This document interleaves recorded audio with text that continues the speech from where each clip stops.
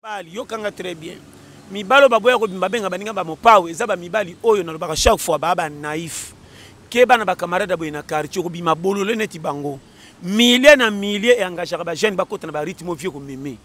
okokwaya na faux poule na milie ekomisi yo bolole bakosi yo la mfutema nzoko ndo mikaba mpo omoni bato na modele wana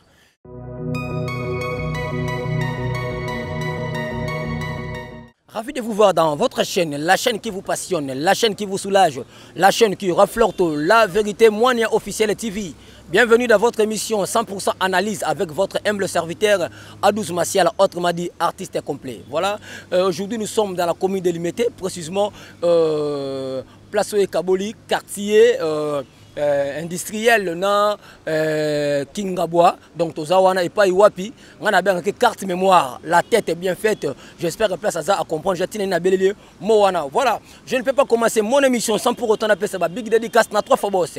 qu'il était boss avant que le boss soit boss Gaylor Moine boss depuis États-Unis na État Ohio ville Hamilton donc eh, mwana ya hamilton ya 445 merci à toi 4 fois père christian lukulasi motema na oloba nema depuis na paris à bière internationale merci na bakoli otindeli yango ekomaki na FB International chez Fiston Business. En tout cas, merci Nabi Kelangao, on a la très bien. Merci à toi, Christian Lukulasi, l'homme à Louis Vuitton. Merci à toi aussi, Ecclesiaste Lemba, meilleur artiste cinéaste de la diaspora congolaise, l'homme du Welcome to Montréal, l'homme du prince du ghetto, l'homme qui fait la fierté de tous les bayombe en Europe. Nalo bana munoko mboka kadibo yeluka nil par ailleurs. le charismatique silencieux Bavedor Mapamboli depuis Atlanta,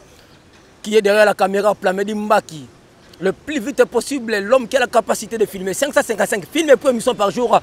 avec tout le respect que je vous dois, au refond la caméra, Bamona, la carte mémoire, entre-moi dit, Pasteur John Toli Pété. Bonjour, Pasteur. Bonjour, mon frère. Boni. base, base, 565. merci nayoki euh, bato ya wenge 4 fa 4 balobi euh, babandeli mokili mpo na concert babetaki euh, lokola mokili ebandelami yo omoni ndenge nini te kobandelama mokili eza nango mabe te mon frère omoni nga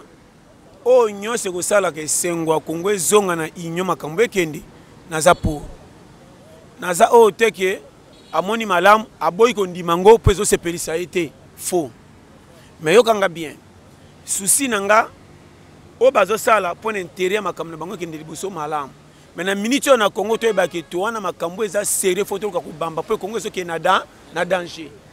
nayebi te soki olandi nga très bien nakoki biso ndeko na ngai yokanga bien pourkui batalibanda bazalaka na susi ya mboka na biso koleka biso bato tozawa tozalaka san fou mpo soki obimi libanda ya congo komona valeur bapesaka na motu mboka bapaya lokola na poto bamonaka biso lokola banegre mais soki okei na poto okomonaki oza alaise koleka place na yo moko faoza na kima batie o ma mal alaise nayebi te soki ozo comprendre est ce que koya congolais eza lisuma koya congolais eza nde ngambo problème yango wana koma congolais na kati ya mboka na eza mal alaise ondire moto bakoti ye kasho esa likambo aye ayeba oui landanga bien awa ti tozawa tosa boulot okoremarke okosala moto mosala mpo afuta ekomi ngambo mai mpo na kosala badepense ya pembeni pembeni ezanga ntina me mbongo ezouta na makambo na yo abimisi mbongo yo moto ozosala ye mosala mpo mbongo ekota mpo afuta yo ma, manka manka ya nini ya nini ekoti tomo tomoni congolais naoloba na makambo soki oyoki nge okondima nga mofrere yango nazopesa conseil nani alingi amonela moninga na place oyo biso tutu ya génération mo moko koma yo pile nga babetelo maboko mona nga bolole me nazosala na part na nga me bope obokofuta nga nakozwela wa wapi bana na mwasi okozala nde ndenge nini oyebi ke mobali oyo azangi mbongo libala ekoma ke mavango okebi te mwasi aki akimaka ebi te soki ozo comprendre sikoyo koma ngai naza courage nasalaka mosala me nasimbisa bana na ngai paya ya boko elanga bango komsi na mopaya mpo oyeba nazosala me salaire ma mabe ebeloko etondi na bajeune congolais balekaka mpo baboyaka kozala bagoigoi me misa baosala baomona boye nazo bana makambo okondima nga te oyo oh, bayebi te oyo oh, baza mfute koma jean gaso awumela abeti kata na mosala me abombaka mbongo te nabomba mbongo bafutaka nga lokola mbongo abibamba na mona moto asali auti mosala bafuti ye salaire atomboki na bato alakaki bango ntango akokende mosala so bafuti ngai lelo na kokabela bino mbo mbongo atali mbongo bafuti ye ntango atali mpenza boye meshe ekoti ayini bato tu apesa bango promese yaya okufa ta kokufa na kobeta yo mama e eh, eh. moto aloba boye yo makanga tro eh. atuni salaire abi kaka yayo olakai nga me mercredi atuni mabe mpo yaya ata ndenge anyokwamaki atali mbongo bapesi ye meshe ekoti ayini ndako mobimba omona bato mingi kanda mbongo azwi azomona so asombi pantalon ekotikela eloko te soki ameki osomba vandelatere nde asili libela soki asali boye manka mpo azala te alaise akende kaka bara tumba nyo nyonso bakongole naloba no makambo ya mike sikoyo na rdc nani akozala defenseur ya kolobelaka baninga mpe aza na raison koluka totambola nzela moko tozwa ti lelo aza te françois totalaka na tv wayaka wayaka na bachaine nyonso ekendaka wa wapi ntina nango nini bino bato babakaka ke e, tozomona claire te siko bolongwaka mpe te mpo mpo na nini makambo yango yango nani vrai congolais nani faux congolais nde yango donc na bino makambo eza sérieux oyebi natelemi na ntongo na pokwa natali modele ya kovivre ya bato ndeko soki oza motema makasi ya kokangela bakongolai mitema mozomona claire fo satana atala yo meme je te dis mon frère congo tozo vivre mabe tala kokola ya bana telema na porte ecole tala bana bazokota classe mwana azwa na sapato ya mikolo oyo ebebisi ye demarche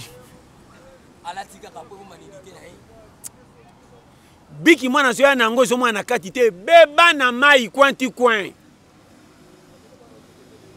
mwana azo ti lelo mwana azokende classe na sachet ya, ya sikre kutu te sachet moko ya, ya viva ya mwindu mpo kwilingongo ebunga biso nde totanga na kwilingongo oza comprendre nayo biso ke na mawa otali kupa mwana ofabimaka lesheki otali noke kupe kaka mwana alati obiki o oh, lesheki ye yeyo tala kupe neti vunga boni mwana azokotisa badosie pa directeur akange mitifi boye akofukamisa yo mingi na kupe la plupart bana bombe bazalaka bandeki obami ndeki bapembeli baki ndeki mpo na pastala omoni mboka oyo kongo ebobi nga nabi makambo ya boye soki famille ya mwasi bamoni bakobotola bango mwana zongisa mwana na biso mpo tomoni avenir ya bana azobota eza ya mabe nzoka nde elateli yo tata ozolata bien mwana atambolaka na vunga ozoba mpe akokola nango akokola mwana akokola na eloko oyo mwana akindaka kosakana na baninga bimaka lesheki na lipa te mpo kupe nde ekweyaka lere nyonso ekangaki makolo moya kima eza te mwana ndenge nini azokima na loboko moko ekanga kupe mwana akomi na katale bakobatela loboko moko na kupe moko asala nango je boni ba discret tala makambo na aloba awa okondima nga te ndimela nga nakenda na bafamille namona bana batyela bango biloko yoka mwana sosi e eh, ozotita cupunoka avant boye fufu ekotika yango moko lokola ofele eh, azosa moninga na ye ozotita fufu pamba boye mama e fufu ekotika yango moko lokola ofele mwana ye bandani ko dispense fufu ekendaka de pourkoi boye mwana moke alaka na desordre mosu ekwei na mabele bana kisasa te alia loso na mbuma moko komwana na mabele te ah! mboka oyo eh. pasta euh, place mona akendaki histoire kobetaka ntuka edanga na vi na nga eda mpe famille na nga euh, batunaka est ce que pasteur john aza mosali ya nzambe ya solo nga bino place wana botuna te obeta histoire moko euh, soki papa to mpe mama mbongo eza te olambeli bana potopoto na place otya sikre otye mungu otye mafuta mbila mwana oyo akomela potopoto ti na suka ato tine na ngola soki azonga oyo na diama mais mwana oyo ameli potopoto soki apupola bise mauvais mwana na osongo te na vie likanisi wana ozwilaka yango wapi te eza sagesse ya koluka koyeba ke tokomi na lere oyo faut trie bachallenger eloko nangi naloba ekobetisa bato ebele mabaku me nalobaka makambo avec ya sincérité ngai nakotikala soki kotangisa bana te ti bakoma na université oh. na mboka otangi eza nano boye okofavorise mwana mwasi akoma ndumba babima na baprofesseur nalobi betidia nyonso te naloba no makambo elanda nga par lettre nalobi boye la plupart ya bana basi ebele na congo ya manevre kotanga ya pasi organisation malonga eza su te bana mingi basui na mayele malonga te mpo bazofutela bango minervele mabe na baparent en plus kotanga mpe eza su mingi te mpo nzala ekanga bisika ebele ya kopesa raison mwana azala alaise so bafille mingi bakoma koluka mpasi epesa bandako bafutaki minervele na zui amikaba pa professeur oyo ya mibali bakoma kosomba papa ye na mbongo nazoloba na yo soki te tala okotika londima nga te naoloba no claire mpo na koprevenir ngai natinda bana danger te vome baliaka kaka fufu mbongo kofuta bo baminerfa la chere chere nasombaka bafufu baliaka bazala na nzoto malonga chaque mois nazokola abanda kopindola metie lokola bato ya kala hmm. soki oyebi bale beta bale avant kende ecole de formation soki oyebi koteka banda koteka na mama soki oyebi kosala boye sala classe bozwi da mayele kokoma 1 plus égal idée na kokoma nkombo na yo tika université na bino esu esuki non français pierre mbongo te namona baba bato bazowelela kutu ye aye kotuna nini mpo mbongo ebima mayebi koloba te pourkoi mindele bayoka baboya baba bimi mpi babango auti mboka atekisi basaki ya masangu ti akomi na mbongo alakoti magasin luka teva plasma soki azalaki ata baba lingala mpo français na lingala ekendaka bamo moko na sini sini ya kikongo mundele ayebi nde ndenge nini koyeba na kikongo sikoyo na basini na kikongo me mundele akompani mpe atekeli etefi mpo oyeba langue na rien avoir okotika na français anglais ki portugais wapi ake okoyeba monoko te voyou koengage bato batanga mpe bazomono mopao vie eza objectif mabe na bino bolandaka bafitilité mpo bopesa yango raison vrai kolamba kotuna bepisi te lukaka mosini ekota mungu atya badi totondi merci euh, pasteur alobi makambo bien ngai nalingi pasteur opesa biso conseil à propos bajeune ya lelo tobimaka te tolukaka kosala mosala te mais jeune soki abimi na ntongo na mpoka ntango aye na biso mpe biso biere tobengi ye mopao bana mwasi aobima aobima na ndako oyo ya eteko bandako ya se maza na iphone 12 oyo eza ya chere elekita mosusu na famille na bango kasi eza exemplaire ya koluka kotire mibali mpe bende na libala soki alakisi mpasi oyo alalaka na ndako amema yango ti libanda akotula mbango akobima na mibali ya bamoyen chere lokola bangai oyo nakotaka ndenge abimeleli oyo abongi na 3000 francs nakotie na compte ya bafi ya paka juma soki alakisi nga iphone na bangi eh. ce qui fait baye awa na tanda bando afutela place ya bielo ko babengani bango presse nda ye awa mais iphone ezofundaka uti place ya malamu ya malamu soki eza mobali yokanga très bien mibali oyo baboya kobimba benga baninga bamopao eza bamibali oyo nalobaka chaque fois baa banaif keba na bacamarade boye na quartier okobima bolole neti bango milie na milie eengagaka bajeune bakota na barythme ovie komeme okokwaya na faux poule na milie ekomisi obolole bakosi ola mfutema nzoko ndo mikaba mpo omoni bato na modele wana ngai nakofana na milie ya bato ase mais makanisi ndenge eza positif mais tozana bango bapire kipire na ngai na bango ezaka na lere moko na ntango moke mpo makanisi ya mosika nakola na carton mais makanisi na ngai eza ya kolongwa nakenda ngola po comprendre naza na mbongo na maboko te mais na projet deya namona kwa nasi na voyage okomona okozala na baambition kozelaka mbongo simba to banda cop okokweya linga makanisi na avant eza positif azokuta na mbongo ebele bakendaka cop bayebaka te na kozwela wapi lokola tie explike na kei azongaka na chasse na pokwa nini ete nazonga na sachet objectif mabe na biso tokaba soni na bato me tobonga te tomipesa minene bato mingi babonga bazala na komikisa me tokela bango zuwa sozo comprendre nga teka dignité na yo mpo récupere yo lobi koteka dignité heure tokoti na action awa outi oye oteki dignité olekisi balere makambo soki osala na elanga oyo tosala commission ntango makambo ekorentabilité papa papa nde yango base ero mosusu afandi azozela soki nini atala tefa alekisa lera akima elanga mosusu lero akangi maboko azozela match na tefa atala akomi na age ya koluka aboya kobima telaka bango balukaka mpo bakabile lokola endika mpe mabukana te soki ozo comprendre nga siko koma ngai nakokaba vi nakomi na age naotala me naboyi koluka nani apesi ngai sife nakende mita sa motif ape nabambela nzambe ayina nga nga moko bolole na nga bateya yo yango moni nga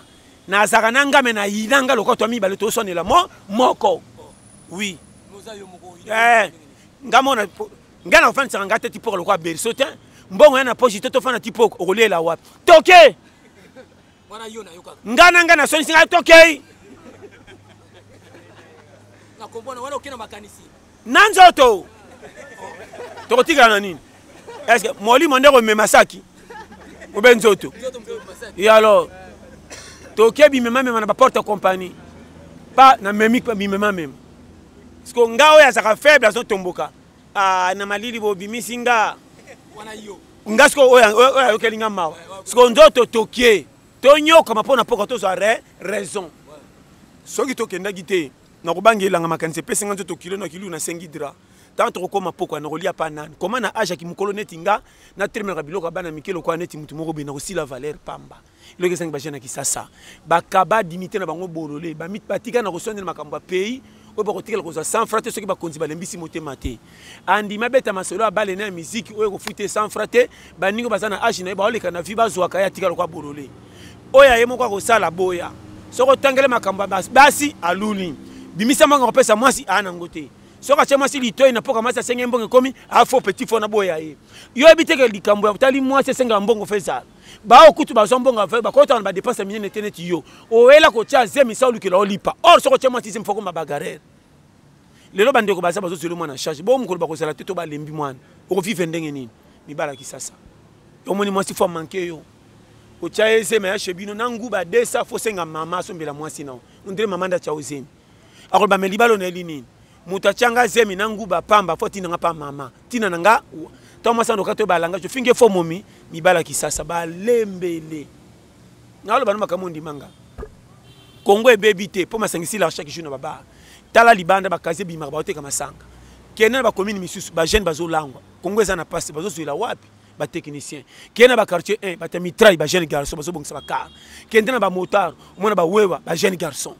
soko tala azofutela mwasi ndako kee na bakopera batambusaka cando papa ezomonana abungi na ntongo na karite ntango azonga na poko resultat ebimi nzambe abongisaka lelo te lelo apprenti pa papa performance okomi mire bajeune ya kisasa te naoloba no claire susu bakuta bafamille mwa lipe ezalaka bakwei na lere oyo azomona bana mwa voiture mo betikala ata amataka teka to ana kar chez biso na mak oh. chez biso toka na gombe kende otala gombe yango ya bango bazalaka na gombe me fufu bakenda kosomba ti na zone kinshasa mpo nalakisaki ndako ekoti nzala fo bikolo ya site nde kende koya a awa eske gombe baka na saki susu boteka bolonga komi na bia bozwa mbongo rien batikaka na fiere tokobima te bango wana batikaka na français so bamoni misiki baaméricain bandi kobongisa anglais nde bakosalela yango ya si my god idodododo bolole soki olambi fi na boye okosimba matamu okokama kongo eyela yo te yaka na kongo lokola babiso oyo bar poto challenge natalaka age te natalaka ngai nakolukela ngai wapi po epi yanga kimia nga nga na nga tozalaka na nga me naboya nga yo so boya yo outi kopo obimisi 30 mille mpo kotama lelo ya 5 mille oboyi kolesa yo yo moko olukeli yo moboyi oboyi kolesa yo yo okuta na kopo oyo nakolia mbwengi na fufu ya 1000 francs pasta yo ndenge oza na yo shawarma mpe nabona 5000 fo osomba shawarma shawarma aloba bakabela ngai 100 dollar wana sombi shawarma ya 5000 epuis naolia yango ndamu ndamu tie kende ndako bato bamona ke naliaki shawarma esila place na ngai moko te valeur na ngai emonana wapi mpona tolia yango kota bato natesa ozo comprendre naopesa bashema oyo oh, mboka soki nde oresi na vi yoko makambo na oloba ya maseki mya kilo omoni vi koya nango ndenge ozoya kalikili te bato ozomona bato bakozala kaka bato yo moko nde fo oyeba ntina na ngai na société eza nini natanga natanga te mpo napesa ngai raison babetela ngai maboko nabimisela ngai wa wapi eloko ezangi bayaya moto tuka ngai naza na bagage namona bato basisa classe mais commerce nde ekomisa ye patron yo oza wapi ndeko na nga moto lokola nga ah, nzambe azwa lokumu ndeko napesa conseil omoni zamba zamba ezanga building selo biso tomona kaka zamba eza za zala nyama omonaka quartier ya lyon quartier résidentiel batonga yango lokola ville bakotaka pa pamba te so okoti orfelo kwa mbolo kokobima te okosila ku kuna mpo yeba quartier babolole nde quartier bamboloko bazalaka groupe bakimaka nzela moko na bangulu cité etonda bitumba na conflit yo oleka na quartier baya leopard yo okota mpo obimi ya na bakartier mosangi sasolo bai leka ngambo okuna mokati ya ngama neso okati baka bakangi yo ndenge eza mbeza bikotakota tuna bafurmi bazalaka mpenza na mitendi ya zamba bafurmi mabanki na mitendi na mitendi mpenza kote bamelaka mai ya mabulu pasta na, na komi na bumbu na komi na bumbu uh, eza na wenze moko nkombo nango foti ya mobali oyebi yango très bien na dama kuna to ezalaka na bakwanga moche nga nayebi tilo benza kini ya baluza ya basiwa mbanza kolanda nga boye te technicien nakotangela tous les 24 babalabala komi na kisa, ya, ya kisasa mobimo nde nafutela partout challenger nayebi prix nini emati nini ekiti boye nga wela nga mbolonga mobesu na talibe na pesi yo prix pe eza net ke boro osombi yango 400 boro ayaka ye moko te baka 3 otie de wa wapi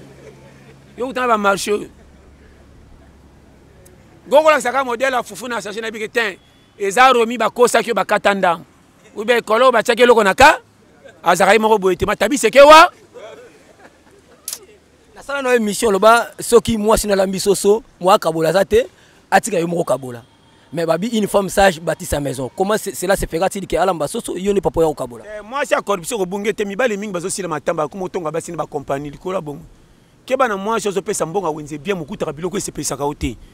kolanda bolingo to boyi kolia alingi nanu yo te mpo okoma mpaka na ye fo kufa ava atika na kobala mobali mosusu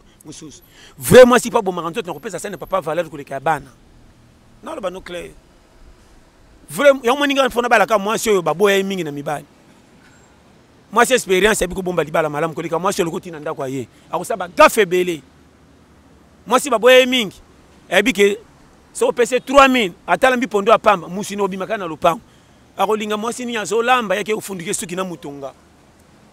ntango bakotyela ndambo akozwa lipeka yango atikeli mpe pa papa alingi tozwa biso ye mbala adamu na eva nakolya mbuma nga moko te tolya na pa na papa nazoba na makambo mike basi tala na bana oyo makambo naloba omona yango pete ma eza kilo soki oyoki ngai eza sagesse ya koleka meme soki aleluya aleluya aleluya ebele botondi na priere me mabala ekufi bino kokamwa bofingisi nzambe boyebi kobomba libala te olulamaki babala yo après kobala oyebi kogere libala te mobali babombaka ye ndenge nini mobali mpo ozala na ye calme fo nini bafami ya mobali bayambaka bango ndenge nini yo oyebi te yo mpe mobali obali kaka mpo obala mais mpo na kobeta fami ya mwasi valeur oyebi te mobali moko naloba no claire mwasi ekosala nini atomboka na ndako sa omona mbanda make yo babiloko ya mike mike eloko na esengi na mibali ebele mayebi français na anglais asalaka mpe na banki babetelaki mpe maboko lokola loria mpo akataka makambo mosala malamu kiyota ye na ndako fouter yaye bogere ndako te oyebi kogere eza différent eya don nzambe akopimela mbongo malonga obimaka na mbongo moko ya bibamba lokola ba 30 dollar ba 20 me bakomona na ndako oza na bana 7 sa malade mpe ozofutela na mabongo ya bibamba koma ndako oyo ofutelaka 50 dollar eleka mbongo ozwaka na ebele mozokokofuta ti lelo eloko nde bato bayebaka te eza don mobali mosusu azwaka mbongo malonga bana mibale me bamoneka manka gérance koya monene ezalaka basoso te elambeli na teknike ya kobomba bana vrai mwasi mbongo aonze mobali ata eza moke etyaka bana petisa batelema na porte ya bavoisin yo oyebi yango kakowela kobala nga fana bala fana georgio lokola motuka yo okoma mwanda bibalabala nga eza kitoko ebalisa nga te oyeba no technique ya libala mpo afana bana kotuna 4 question dire cour de examen d'état oechue na botoloni soki okoki na lati dpt ata ekwei moko etika lokola pinare eh, ya reserve nayebisa yo vrai mwasi fo azala na diplomatie mwasi ya mobala manevre lokola nga fo mwasi oyeba kosolola zala diplomate nasaka na banki te mpo naka na mbongo chaque jour ngai nabimaka nde solo journe ndenge efuti batato du jour yo mwasi na fo oyeba kokoce komi koswanisa bato batekaka na lopango komi singa naza bureaucrate soki oswanaka tokodefa wapi faux momi alingi ba rankini trop likolo ya lutu akoti ndako desordre soki moninga alambi bino bolambi te bakotyela bana nde ndenge nini fo kozala na diplomatie fo ozala lokola ngai nafutela ngai moko nalia na porte bavoisin sa bayebaki nalia epai na bango nakoti me namoni moninga alambi obunga te ndako ese ebelisi biloko bakangaka mingi porte batiki rideau po polele po fufu ebeba te na molunge mo mopepe koti nga mpe technicien kokoko nani fungola nani olanda eloko te balobi na tv oyo anga nakangi nabendi netre ondire kura kote na nga ekei nakotele kuna Chana nango te eza remaniement po TV ezanga eloko ya koloba te nakosi. Ye mpe na fufu na munoko. Ah, asimi te. Pesa nga telecom na bote. Nakota ata mbisi to nde na yeli yango te. Nataka TV. Tan tan tan. Ah, c'est là totala. Yora makambo ya bilelo. Akotika ngai 2 minutes na mesa. Ye mokali akatala nga. Soki asisi asala lokoso lokola nga. monaka suka mabe koto dame maka yo mpe ntango na oloba bwede naoptala ya loboko kenangi nakata omonaki affection eye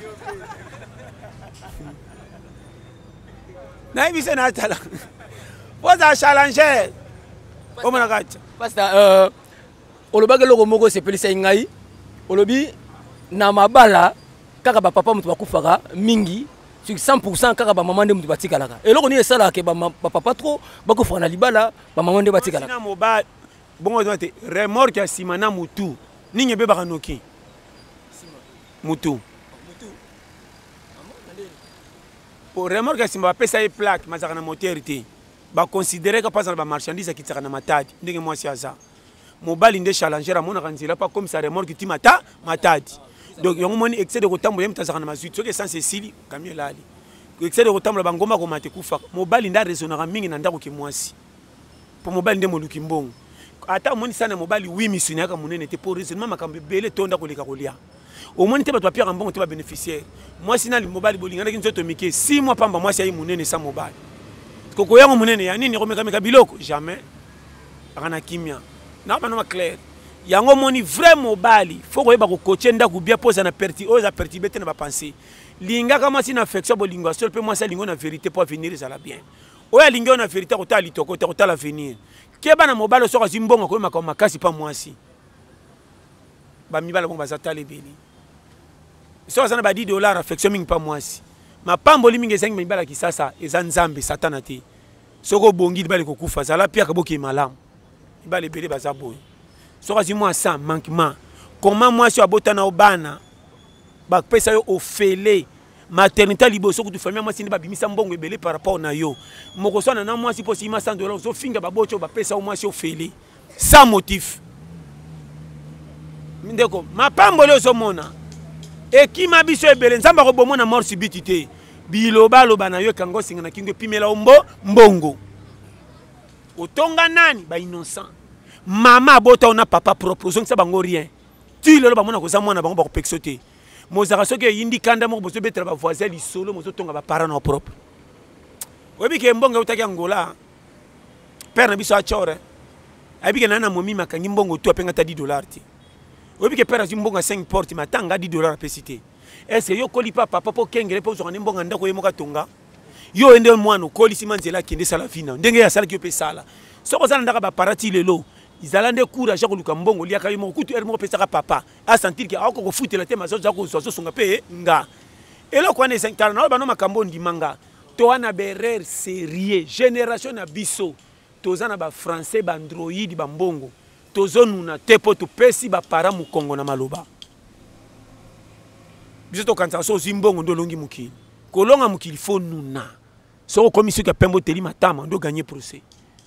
ebele bazwi mbongo me konuna ekomeli bango danger soki akufi bakoseli bato banuna bango nde balia ye te atambolaki nyamunyamu aboyi koyoka bato baya liboso na ye mpo bango babonga te apesi confiance na bato babonga sa kocomprendre avenir ezalaka nde ndenge nini ozwi na yo mbongo osombi ndako eske owumeli oboyi bato baya ndroit kende na mboko etonda bomengo sa mikolo ekufaka vent kende na mboko ezanga mbongo me tonda bampaka babundisa yango te mpo batasage baleki trop pasta tokomi na biso presque na suka motuna na biso ezali est ce que congolais akokota mpe lola akokota soki atambe na kobanga nzambe neti ngai na kokota lola mais la plupart ya matière basalela bacongolais oyo etikalaka na satan nde ebimisa congolais matière basalela satan yango nde basalela congolais eh, congolais meme motema mabe ya congolais meme sate komokamwisa ye atunaka bato na ye bokanga kongo ndenge nini kaka ndenge otiaka depuis adamu na efa basalaka bazaka bongo koma mabe bako ya rdc epila mabe nyonso afrike partout okokende na monde okokuta congolais ennemi no numero 1 akoya na gentillesse akotuna baquestion apesi yo fufu mpo panza garde nyonso okoloba komisaki esalela yo nzoka ake bomba mpo esimba te lokola na nyokwama ye mpe fa nyo anyokwama congolais soki akemba ata asali 20 amoni akoba mwana mama mais pas personne piste obonga na facilité jamais je te dis avec amour partout na monde ate soki okutana ivoirien zambien akopesa piste ozwa na facilité congolais alingaka moninga te soki abonga te babenge na cope akobenga moto mosusu ke yo tikala bolole kamwaka ya kabila kopa koso apesa baconseil ya lokuta mais na motema azotyola ntango congolais alingaka te bazala de babetela bango maboko tala politike idee baa nango koma bakopesa président te asalela mpo esimba oyo akoleka na tv na français acoli oyo akoleka na tv acoli tala tv kofinga na kofinga siko nani aza malamu so mpe batye bino mpo omonake parti mpe motema mabe na bango epuis na bajournaliste ya lelo basaka makambo ya politike baka na tendance kaka oyo akoloba mabe mpo na makambo ya pays nde babetele maboko oyo ya malamu batalaka te mboka ekomarche boye kaka na ntango akoleka ye ye kutu te tala bango bunga bango te baorgueille ata ayebi lingala tya ye na tv awangani lingala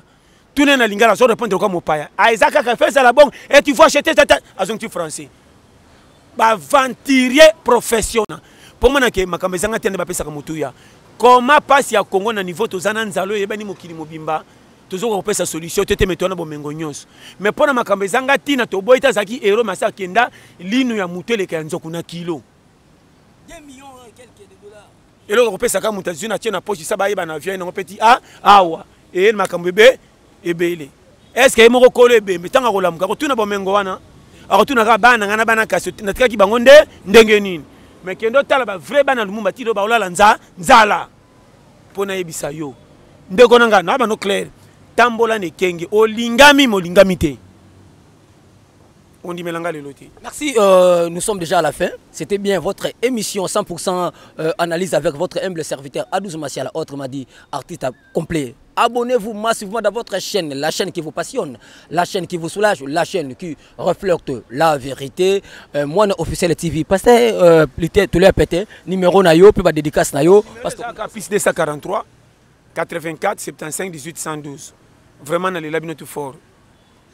yanga ndeko marco loko wumela napesi mbote na papa emmanuel miyuna na états-unis na ohio sans oublier bandeko na ngai ya iderngom yo moko mpe ndeko na ngai k12 wumela namaki mpe nsima bilili plamedi mbaki batika yo na chaine na biso euh, moyen officiel bosabone massivement na bato tu bazala bandeko so bamotare bayaya oyo eza tola pete bacourage toi na système de jeu moko kengela position mabe na yo oyebi bale moyebi emplacement te ngai naza na nga foutere me nayebi emplacement yango nazotya bi napesa conseil kongo longa na makambo etali eleki yo minene okozala na susi ya mokili lokola yo okomi nde camarade ya kolo mokili kolo mokili ayebi mbambano ezokutana komemo tala makambo na nga naloba ekopesa yo libaku je te dis nasalelaka esengo na ngai na mpasi limite ya vi na ngai esu esuki koma ngai nakozwa pare ya makambo eleki ngai kilo nalata na motema ondire ya nga e tala bakufaki na ituri bakufi mpo leta atiki misu ya ngai nakende olela bango boniko oyo makambo naza yango kutu nakokolela te nakende olela makambo mosusu yaya bateya yo a sakana vraiment nzambe apambola